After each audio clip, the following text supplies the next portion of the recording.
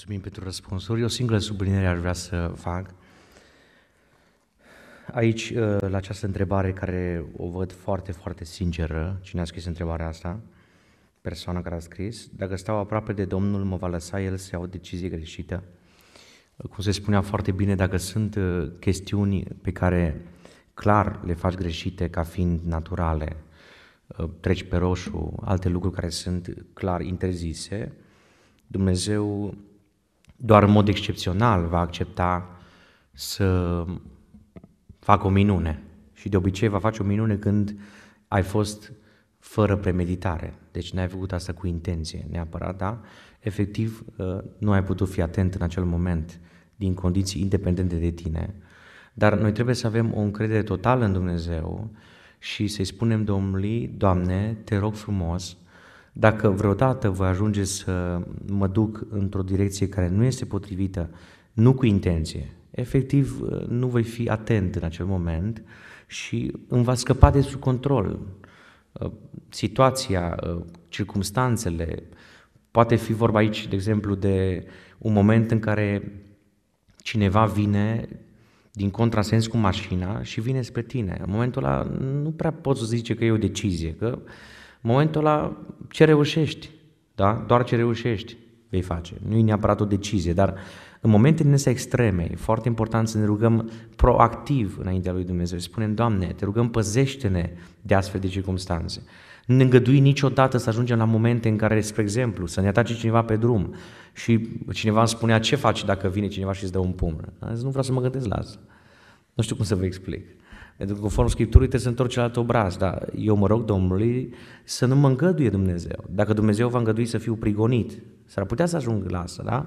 Dar e foarte important uh, când tu ai o sumă valorică în momente critice, vei face ceea ce ești de fapt. Dacă tu niciodată n-ai înjurat în viața ta, când cineva vine și îți dă o palmă, nu o să înjuri. Pentru că asta ești tu, altceva decât înjurătura. De aceea e foarte important în viața noastră să ne punem în fiecare zi în mâna lui Dumnezeu. Rugăciunea de încredințare în mâna lui Dumnezeu nu e doar o rugăciune ritualică.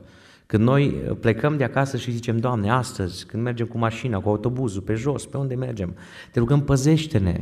Vedeți, sunt circunstanțe în care cineva te enervează, îți calcă pe nervi, efectiv, îți face ceva, nu știu, îți toacă mărunt creierii, da? Și în momentul ăla s-ar putea să iei o decizie greșită, dar dacă tu te rogi lui Dumnezeu și spui, Doamne, nu mă lăsa să-mi pierd cumpătul, nu mă lăsa niciodată să o apuc într-o zonă periculoasă, nu mă îngădui acolo, nu, nu mă lăsa să, iau, să răspund la o întrebare la care nu trebuie să răspund, nu mă lăsa să ajung să iau o decizie care s-ar putea să mă ducă într-o zonă care nu este potrivită cu planul tău. Și dacă suntem sinceri, vă spun din proprie experiență, întotdeauna Dumnezeu ne ascultă. Întotdeauna Dumnezeu e acolo lângă noi, să fie implicat în sinceritatea noastră. Sunt oameni care nu știu multe, dar sinceri. Și asta nu îi scuză să nu știe multe, dar cui i s-a dat mult, îi se cere mult. În măsura în care Dumnezeu te-a luminat, în măsura în care ai primit călăuzire, lumină, ceea ce știi să faci că e bine, să faci neapărat. Și dincolo de asta, ce îți scapă de sub control, Dumnezeu va veghea. Există oameni care se tem să urce într-un avion pentru că le este frică, nu cumva pilotul să moare în timpul zborului. Se tem să facă asta. Dar există copilot, câteodată scapă și ăla.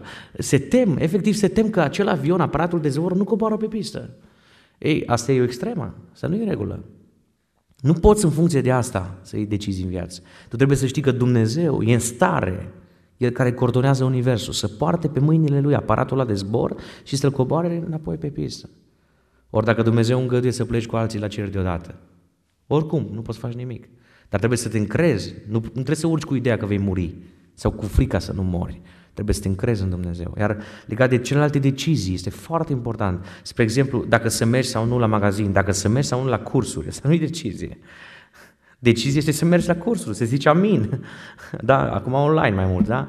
Adică dacă, dacă să faci alte activități în timpul cursului, asta nu, nu trebuie să întrebi pe Domnul, știți? Noi, noi trebuie să fim corecți. Când suntem corecți, suntem curați și când suntem curați, ajungem să luăm decizii corecte. Haideți să ne ridicăm, să stăm înaintea lui Dumnezeu și aș vrea rugăciunea asta să te rogi pentru propria ta viață. Să spui Domnului, Doamne, te rog, luminează-mă, Doamne. Există un element divin care trebuie să se pună acolo cu degetul lui Dumnezeu să fie arătat, inclusiv în deciziile care urmează să le iei în viitorul tău. Încrede-te în Dumnezeu. Pune-L pe Dumnezeu pe primul loc în, în, în aceste decizii ca factor primar decizional. Spune Domnului, Doamne, nu vreau să o apuc înaintea Ta, vreau să mă duc pe urmele pașilor Tăi și când Tu îmi zici înainte, înainte să o apuc, când Tu îmi zici în dreapta, în dreapta să o apuc, când uneori logica va trebui să fie sfidată, Doamne, ajută-mă în momentul ăla să am suficientă credință să mă duc înainte, să mă duc în direcția pe care Tu mi-ai arătat-o. Haideți să ne rugăm cu toții, să ne rugăm cu credință ca Dumnezeu să lucreze în scopul acesta pentru fiecare dintre noi și peste ani și ani și peste zeci de ani, peste uh, mulți ani, peste o perioadă mai lungă de timp de acum încolo, să vedeți cum vă uitați în timp și ziceți, Doamne, mulțumesc că atunci m-ai ajutat, în decizia aia ai fost cu mine și Tu ai fost de partea mea. Ne rugăm cu toții, iar când încetăm de rugăciune, rog pe Sergiu Dunca să finalizeze această seară cu mulțumire. Ne rugăm cu